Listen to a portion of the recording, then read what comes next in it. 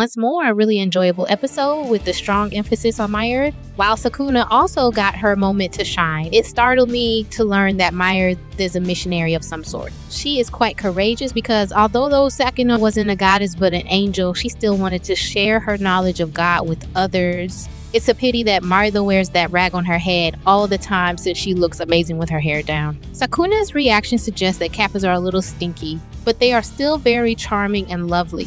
Sakuna's reaction when Kenta began referring to her as a goddess was amusing. I did not anticipate the religious discourse. Being a nun from a closed door monotheistic faith may be problematic for Myrtle if she didn't have a strong desire to explore the outside world and pick up new skills. For instance, the friendship with Kappas is a relevant example. A good episode to highlight the supporting cast. Unfortunately, people might avoid you if you are very anxious to learn, as Mara found out. It's a good thing Sakuna battles demons and unravels the mysteries of this island so they can assist with the rice fields while the other humans harvest food. I wonder whether UI and Kenta have taken more trips together in the past. Think about how it bothers me that she is so mindful of him. He does appear to be beginning to turn the corner. I'm still in love with the adaptation, and it appears like the gangs are going somewhere. Although it's the search estimate that Aishigamo's pals have moved on, he could have made new friends in Kenta, who is keen to further his art. He still strikes me as annoying and irascible, but next week he'll get his chance.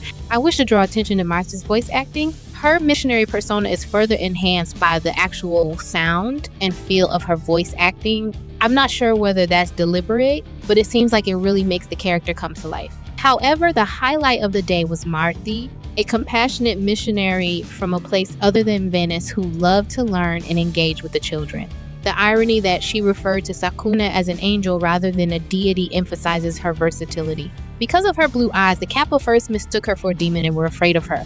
However, after assisting a wounded person, they discovered the truth and Sakuna has her chance. I wish the monster in the game was that simple. However, rice growing has gotten simpler since the Kappa, and it seems dogs who may have arrived with the Kappa were introduced. Again, a really enjoyable episode. For a brief moment, I truly believe that the reason the Kappa were afraid of Mother was because in the past, other foreigners who had blue eyes had eaten Kappa because they believed them to be turtles. However, I guess a gigantic man eating catfish might also work. That Martha immediately returned to wear her veil following the event makes me a little sad. Without it, she had a far more stunning appearance. As of right now, Kenta is the only gang member I still find dislikable. She simply keeps making mistakes and won't say sorry or provide assistance. However, it appears like he will be contributing in the upcoming episodes, so perhaps everything will be well soon. It's Kenta's time next week, and then I guess UI and the baby.